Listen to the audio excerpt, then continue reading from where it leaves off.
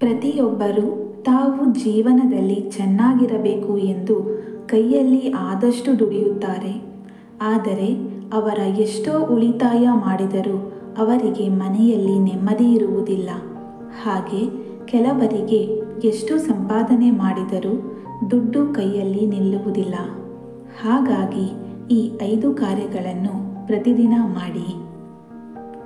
ಪ್ರತಿದಿನ ಮುಂಜಾನೆ ನಿಮ್ಮ ಮನೆಯ ಅಂಗಳದಲ್ಲಿ ರಂಗೋಲಿಯನ್ನು ಬಿಡಿಸುವುದು ಒಳ್ಳೆಯದು.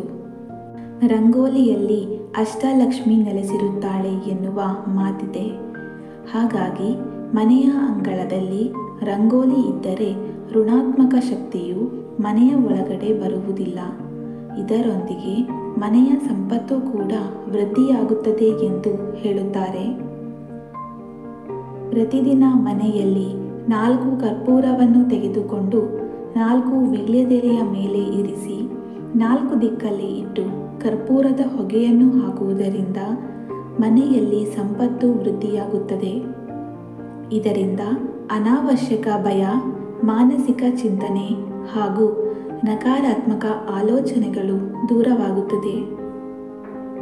ಮನೆಯಿಂದ ಹೊರಗೆ ಹೋಗಿ ವಾಪಸ್ಸು ಬಂದಾಗ ಮೊದಲು ಮನೆಯ ಒಳಗಡೆ ಬಲಗಾಲನ್ನು ಇಟ್ಟು ಬರಬೇಕು.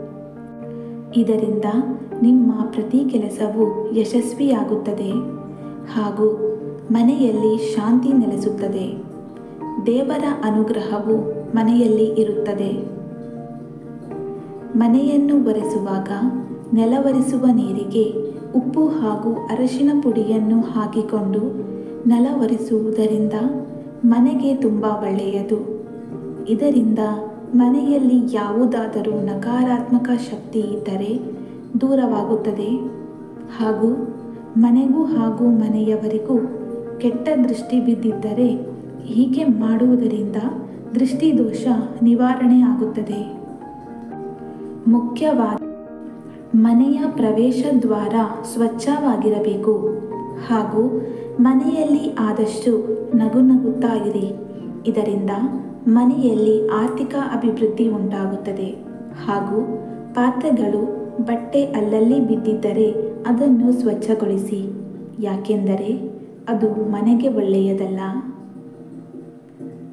ಇನ್ನಷ್ಟು ಮಾಹಿತಿಗಾಗಿ ಸ್ವರಲೋಕ ಚಾನಲನ್ನು ಸಬ್ಸ್ಕ್ರೈಬ್ ಮಾಡಿ, ಶೇರ್ ಮಾಡಿ ಹಾಗೂ ಲೈಕ್ ಮಾಡಿ. ಧನ್ಯವಾದಗಳು.